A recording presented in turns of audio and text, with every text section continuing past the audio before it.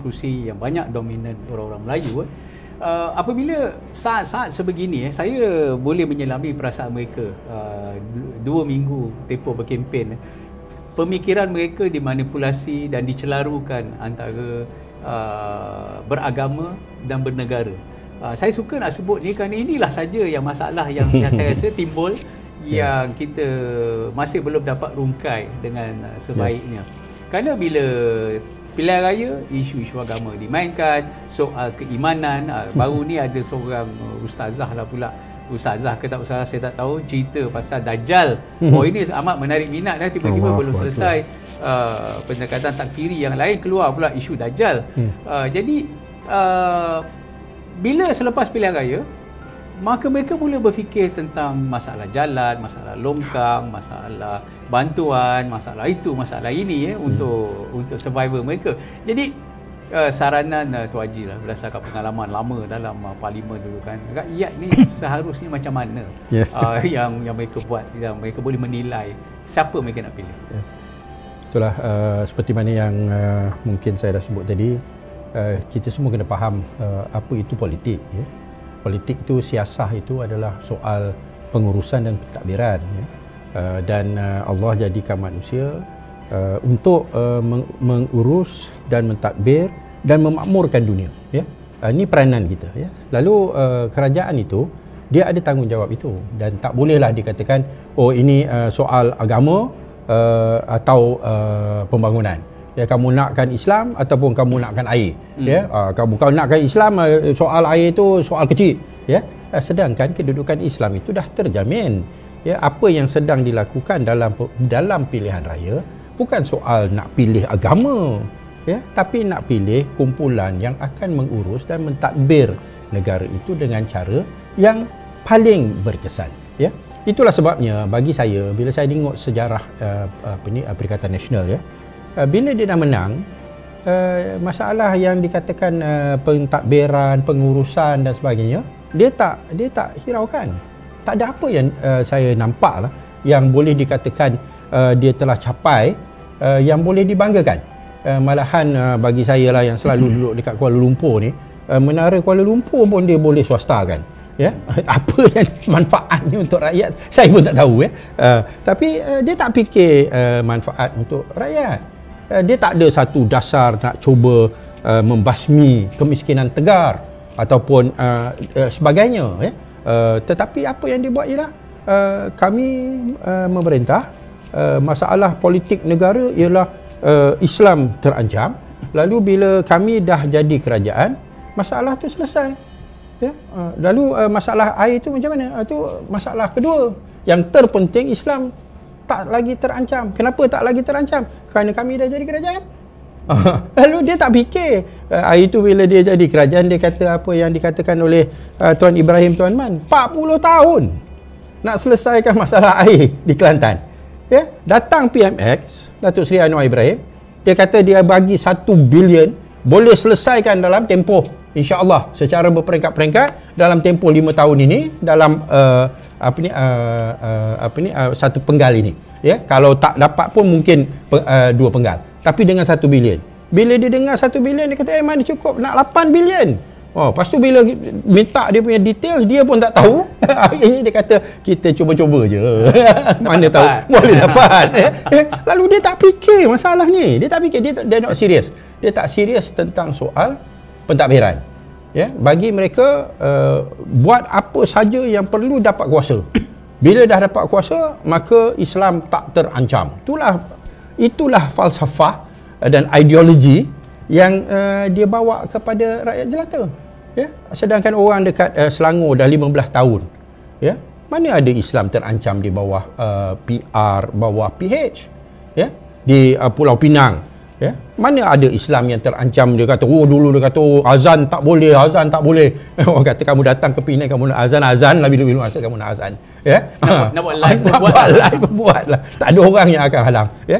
Tapi pembohongan ni yang dikatakan ni fitnah ni setakat ni lah ya? Semua yang kena uh, dakwa dan didapati bersalah semua puak ulama-ulama kononnya lah parti Islam se-Malaysia ni Termasuklah dengan Menteri Besar Kedah. Yang hero dia orang tu. Ya? Eh, awak kena saman, awak kalah. Awak bayar 140 ribu ke 150 ribu tu hukuman dunia. Ya? Hukuman di akhirat tak tentu lagi. Ya? Tapi awak boleh buat tak kisah.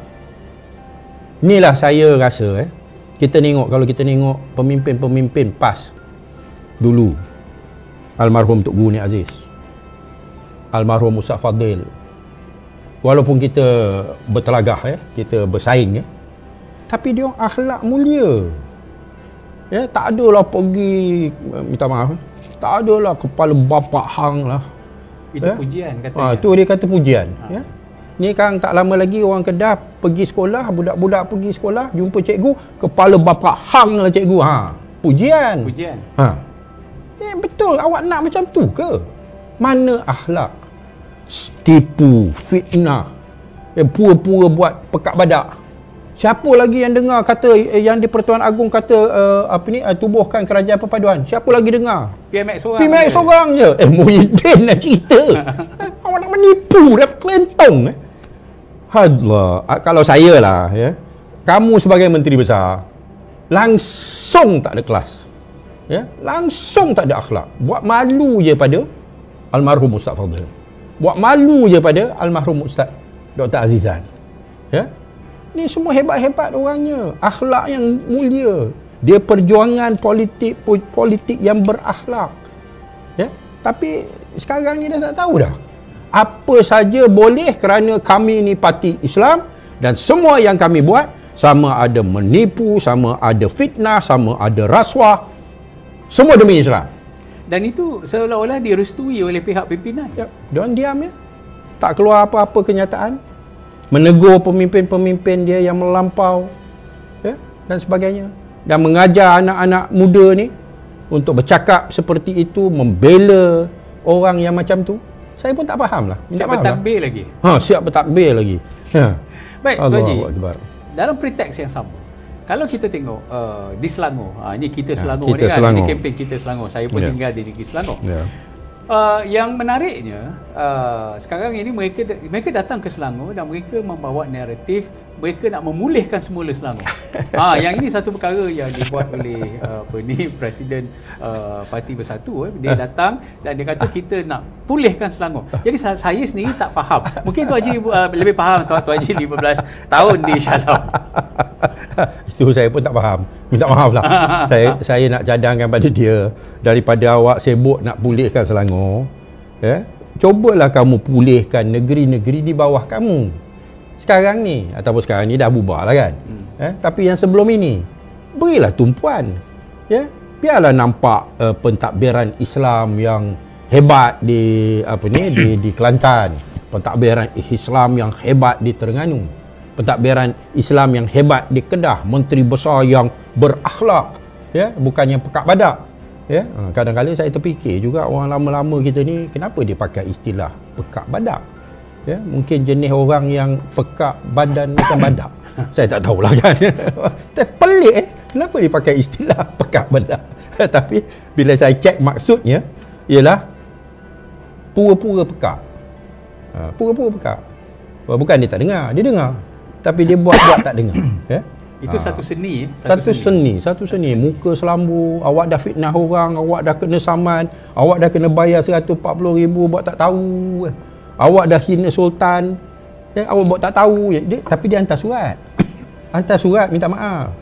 Ya, uh, Pesuruhjaya PAS Negeri Selangor pun hantar surat minta maaf. kena panggil oleh uh, Sultan Selangor.